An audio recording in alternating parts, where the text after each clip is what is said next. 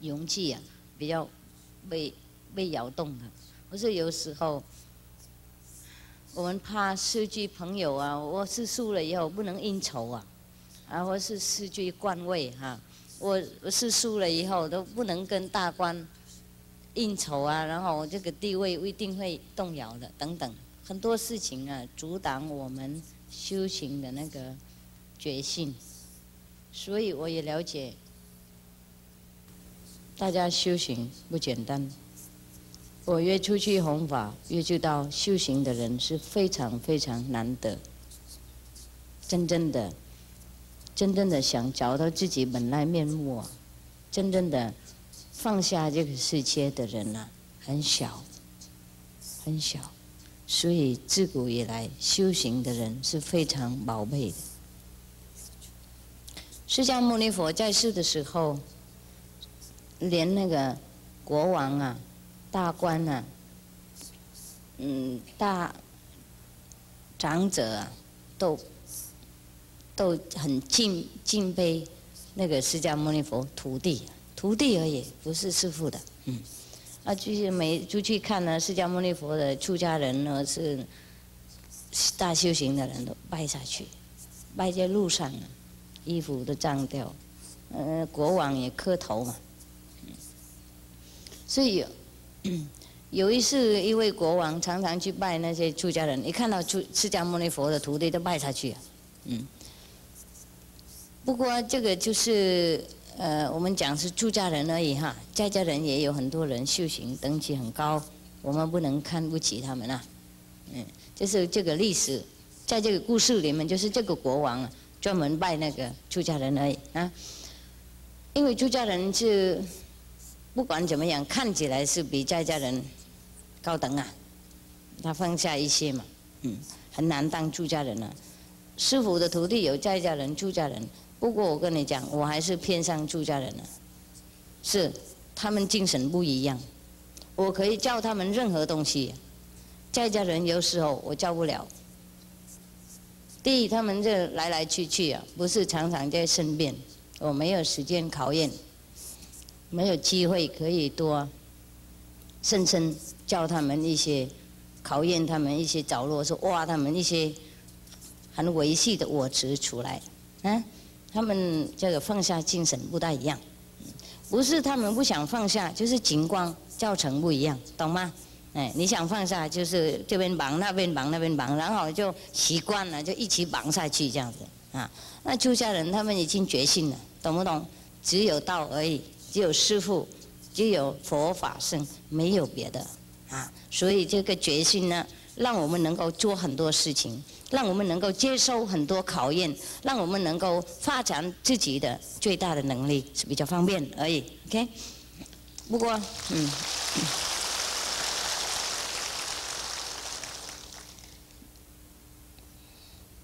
别鼓掌啊！是讲他们，不是讲你们啊。好。这位国王啊，以前呢专门去拜出家人的，看到出家人都拜下去。有一位大臣啊，他不信佛啊，那个时候他不信那个在世佛。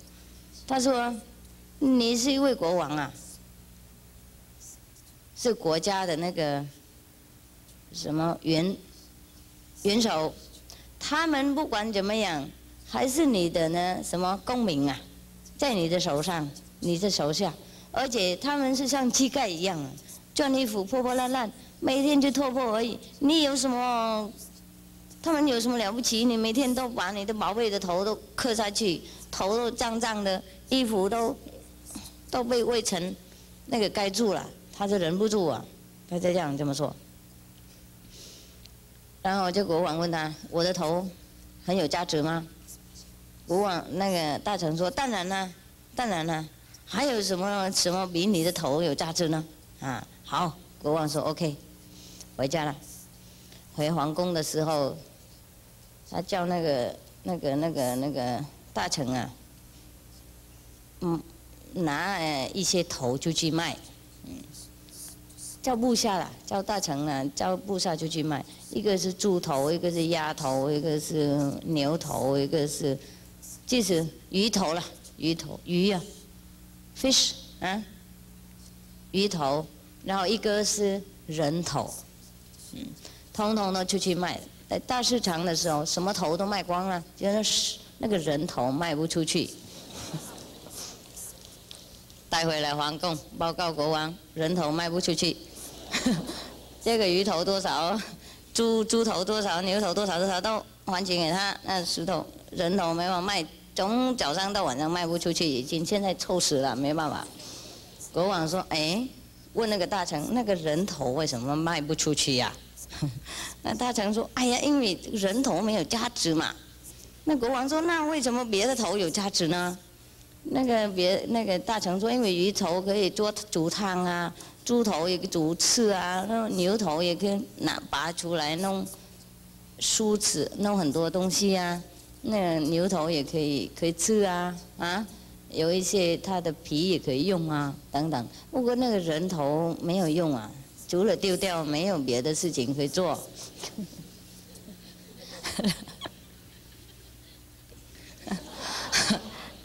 然后国王说：“啊，每个人头都是这样这么。”无用啊，大强说：“是是啊。”他讲太快了啊。然后国王说：“那我这个头也是人的头，也是一样吗？”他大臣不敢讲话，就被国王闭起来。被国王闭起来，闭闭完了以后，他就说：“是是也。”最后他没有办法，他说：“是也没有价值的。”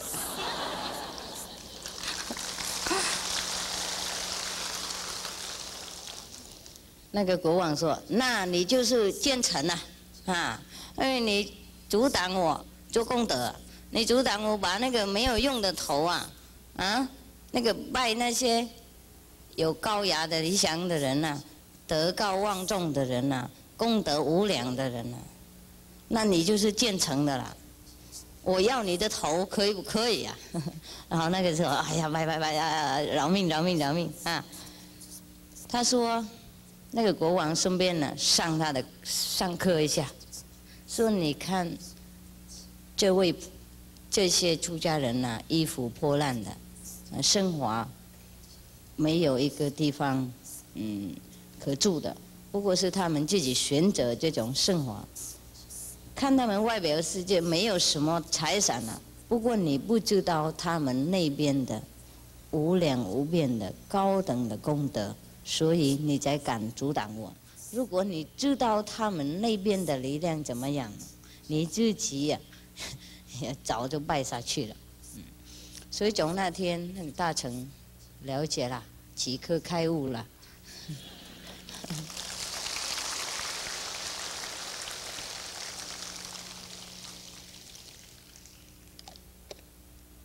就不敢再阻挡国王。嗯，所以。连一位国王啊，要修道，也有人在旁边赶阻挡，何况我们普通的无助的人呢？有千万啊，千万的那种帮助的地方，连朋友也有话讲，连我们的小孩也会阻挡我们。有的妈妈跟我说：“我小孩不纯我吃醋。”我小孩，哎呀呀，养他很大，然后他就叫你怎么吃你就吃这样子，那这样也是偏偏就听他们，怕他们怕死。了，说我现在很很喜欢啊，不过我小孩都不纯我吃素，哎呀，听着世界好颠倒的事，不过有的有有有这种，你们有没有？不一定有哈，啊，OK，别讲哈，嗯，讲会丢脸呐，嗯。我们是父母，怎么会受小孩控制呢？是不是颠倒的？哎，有时候先生啊，怎么受那后生控制呢？来，叫先生，因为太太叫叫她的丈夫是先生嘛，是不是？表示说很尊重他，他比我大，他比我有智慧。先生意思说你比我那个什么？了解东西的，你生出来比我早嘛，意思是这样的，先生嘛，所以你比我好啊，你比我怎么都伟大了，怎么都了解。不过这是好听的名字而已，有名没有利啊。先生怎么会受到太太控制呢？就受后生控制嘛。那这样怎么说得出来呢？比方说这样子，所以我看这个世界非常颠倒了，任何名誉都虚幻而已。啊，最好这这些太太不要叫他先生先生啊，叫他什么都可以啦，小孩子或是 小弟弟 啊都可以，不能叫他先生啊，听懂吗？比方说一位总统，我们叫他总统，又不让他当总统的事情，让又不让他有总统的权利，那叫什么总统呢？是不是？啊，你叫你们先生是先生的话，他要给他一种尊重的地位，他要决定怎么样就怎么样。当然你也不应该跟着他是输，不过你给他一个权利选择，那个自由信仰就是国家法律有写嘛。是不是？哎，他没有要求什么过分的，你怎么当一个太太，然后就把国家的法律改掉呢？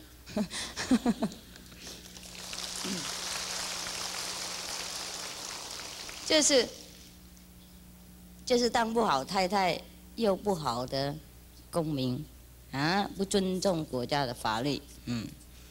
如果你们住在共产的国家，那个没有信仰或是什么的国家，那我可以说，啊，你们为了那个那个国家的法律就不存先生信仰别的宗教，可以说，因为我们自由的国家做这个样子好难看，嗯，让人家不尊重我们的那个度量，是吧？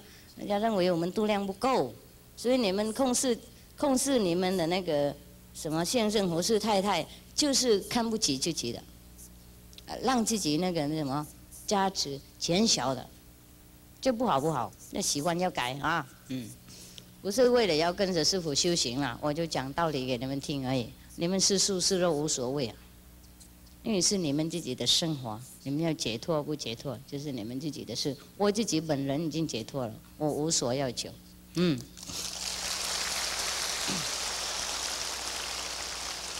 好。所以师傅也知道啊，很多重重的困难呢，阻挡一个人要脚踏自己万能的力量。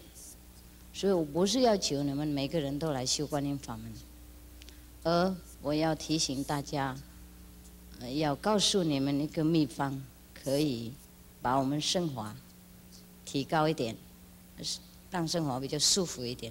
每天让半个小时打坐。修观方便法也好，修方便法我已经教过了，你们知道吗？啊？知道不知道？知道了啊，就不要再讲。嗯。啊？谁没有举手给我看？这么多人不知道怎么打坐啊？哎呀，好烂！要不要谁啊？要哈，很简单。嗯，你们早上早一点起来，睡饱了就起来了。不过也不要赖床啊，嗯，可以弄一个闹钟啊，早一半个小时起来，要刷牙洗脸，快快，嗯，运动一下，然后坐一坐，就椅子像国王一样那个样子也可以，就这样也可以，那个手放轻松，放这样也可以，没关系，不用在那里弄这个手印什么，等一下酸死了。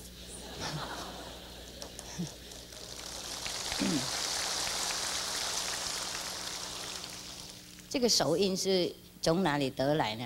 以前有一个和尚啊，他那个专门抓羊的啦，他做两苗饭他就抓抓，有时候不抓自己就抓隔壁的，所以他的师傅才才教他打坐的时候应该这样这么做，听懂吗？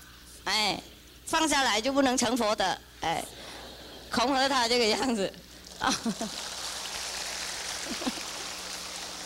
看到抓羊的人要看清楚一点。哎，所以 从 从那天那个宗派就传出去很多，就说啊，传说这样，如果手动了，那个不做手印就不能成佛而已。OK，很多手印啊，很多种类，看看你习惯抓羊在哪里，你的老师就教你不同的 那个手印。OK，好。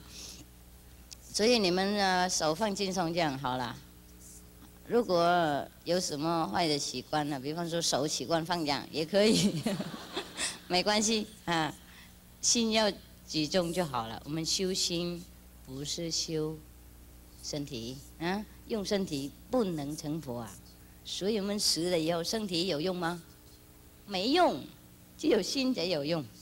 我们做什么事都用心的，然后这个心了解了以后，就传到我们身体来。身体就是我们用人而已，那。哎，那我们是修心呐，啊，你们就做静静一点。如果是天主教徒的话，那祈祈求上帝啊加持加持你们，让你们修行成功，让你们智慧啊打开。如果是佛教徒的话，或是别的教徒的话，那祈求你们的教主啊，最高的教主加持你们。最好就是求上帝就够了嘛，上帝就是万物之母啊，嗯，没有上帝就有什么佛呢？你认为从佛从哪里来的啦？啊，嗯，我是怎么道道师是什么老子、孔子、庄子他们从哪里来的？啊，还是有一个最高的力量，那个我们叫他是上帝、佛心、佛祖、道都可以的，求这个最高的能力呀加持我们就够了，嗯。不过万一你们没有相信我，OK，你们要求什么人？你们认为最高也好，嗯求那个人帮忙。如果没有任何信仰了，就求自己。嗯，求人不如求己，OK。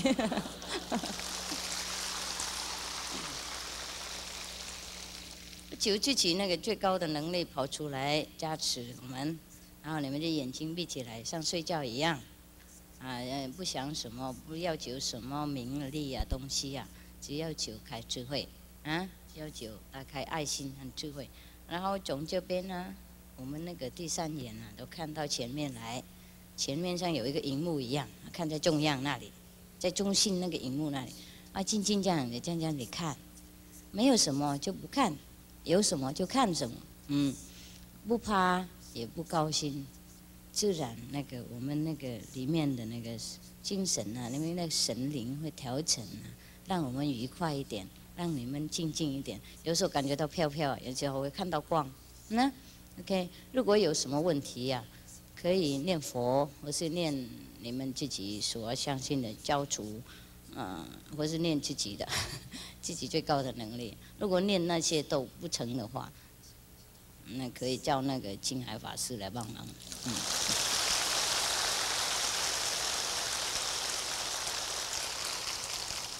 有问题的才叫啦，不是叫你们叫我干嘛啦？嗯，哎，如果真正的什么都没有效啊，恐吓啊，有什么问题啊，就可以叫师傅来帮忙而已。如果不叫没关系，没有事就不用。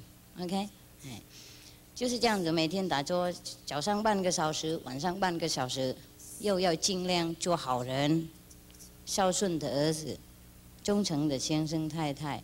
好的那个工人在工厂里面不偷不抢不不找来玩去，不是不玩来找去，不玩来找去啊！不骗老板，不骗啊呃我们的政府，呃税金要交清楚，嗯，意思说当一个好的公民，懂吗？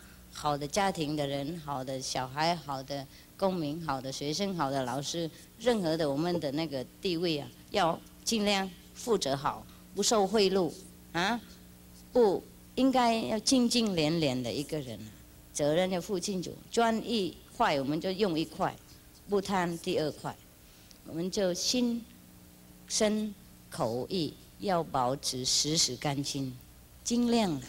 我不是说你们一天可以变成完美的人，尽量做，时时都要做好，做好想好，讲好。嗯，时时都尽量这样这么做，然后每天打坐这样，早上一半个小时，晚上睡觉以前做一做半个小时，然后躺下来睡觉，这样你们知道生活越来越不一样，脸越来越光亮，嗯，然后想什么的越来越通，做什么事越来越快，自己越来越喜爱自己，越容量别人，你们知道生活真正的。值得一个人生，这个是不跟师傅学观音法门的人的，如果跟师傅学观音法门的人，当然师傅教更多的事情不一样。嗯，记得吗？这样简单吗？嗯。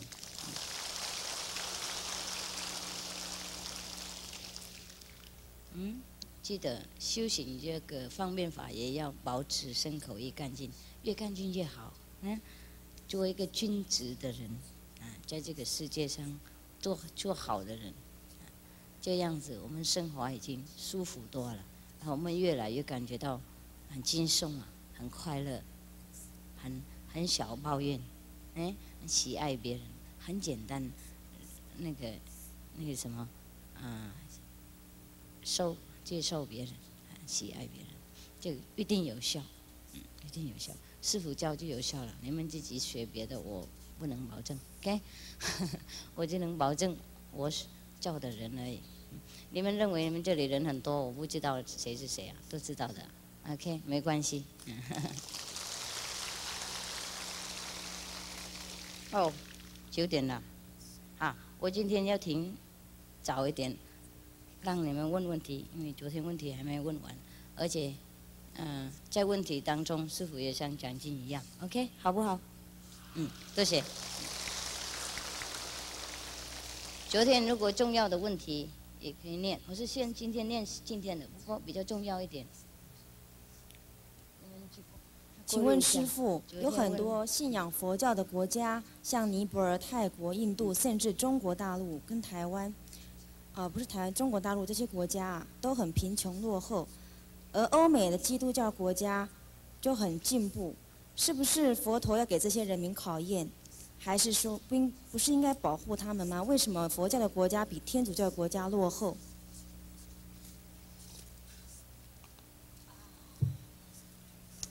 真的是这样的吗？我们台湾也是佛教的国家，怎么落后呢？乱讲话，嗯？我们是世界第一名的，有外外地存外围存存体啊！你怎么说我们世界落后？啊，自己不懂自己的那个国家的情况嘛？台湾很好，乱讲。嗯嗯，还有很多天主教国家，很多非洲也是天主教的国家。有什么？有什么文明呢？而且一个文明的国家，不是看他那个外表，我是高楼，我是钱，我是人怎么穿衣服啊？不是的，看看他那个道德的方面怎么样，懂不懂？有没有孝顺父母？有没有忠君爱国？有没有嗯疼爱隔壁？有没有原谅别人？有没有那个道心呐？了解吗？啊？不是看他那个、那个、那个物质的方面，就算有算呃算那个什么文明不文明、落后不落后？文明是人家的精神文明啊，不是物质方面文明。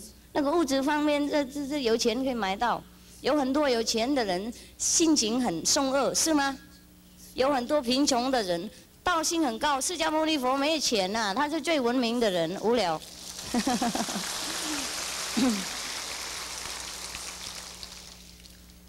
昨天有人说末法时代需要最大功德的古佛下来度众生，为什么古佛比新佛的力量要大？嗯，谁说？新新的佛比较小，所以只好古佛要下来，而且啊，就不是不是古佛力量比较大。嗯，新的佛很小啊，叫你们修都没人修，有新的佛怎么冒出来呢？听懂吗？只好请那个古佛下来而已啊。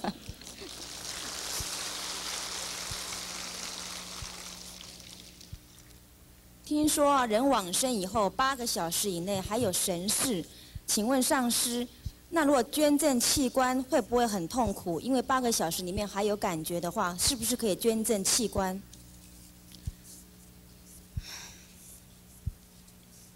不是啦。就是他的灵魂还绕来绕去了，有时候他还没有死啊，就看看那个人死了没，才可以决定那个拿他的器官送给人家。那有的人八小时，有人九小时，有的人九年，有九天还在那边呢，就是好像迷迷迷昏迷而已，不是死掉啊，懂吗？所以还是要决医生决定，然后就可以做了。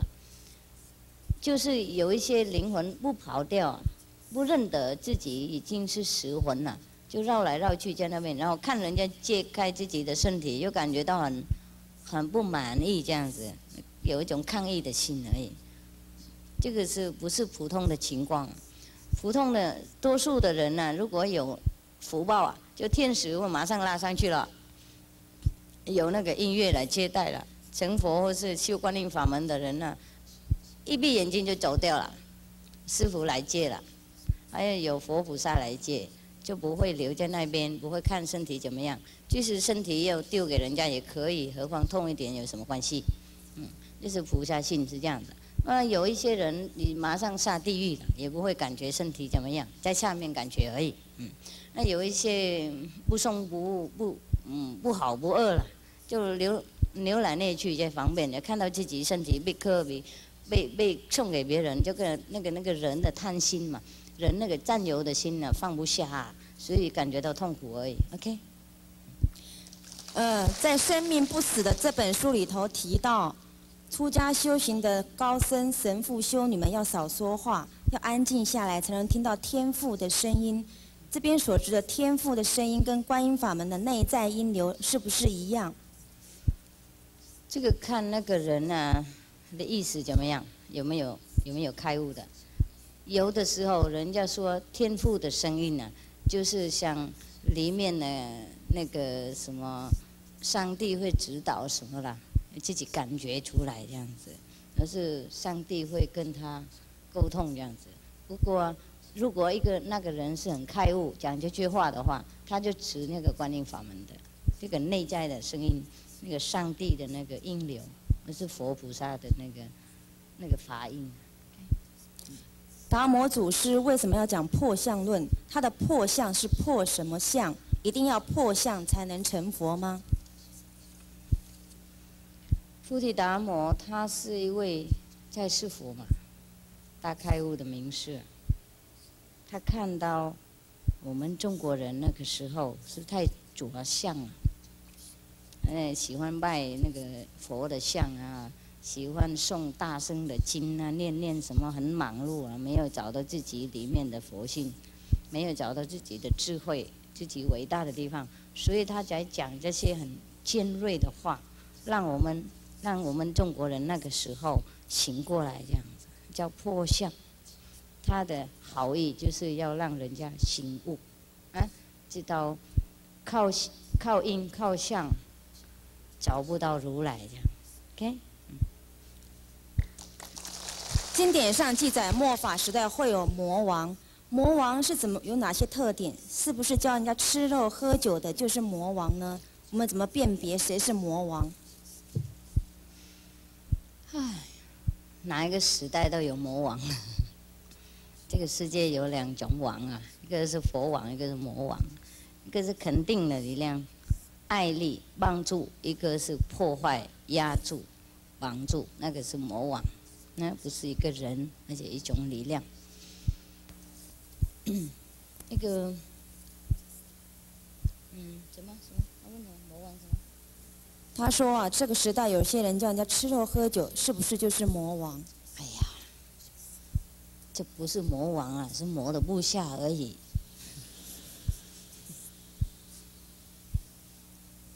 魔王他要吃更更别的东西了，他不管吃肉喝酒而已了，懂不懂？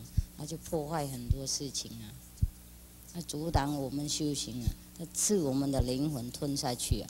那个才叫魔王，我们吃肉喝酒算什么？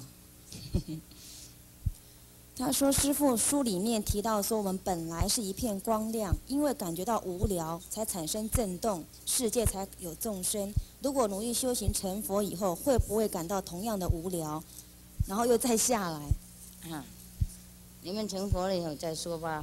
嗯，现在也是我讲的话，那不好了啦。”像你们看那个侦探的故事一样，如果我把结果讲出来，你们会骂我死啊，是吗？侦侦探故事，懂不懂？